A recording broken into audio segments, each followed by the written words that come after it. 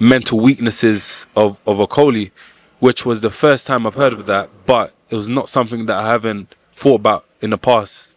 Just you know, watching him and watching the way he boxes and stuff.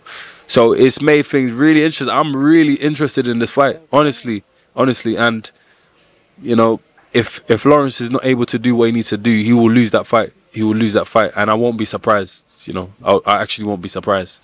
Sometimes it's just about, you know, you know, stars align.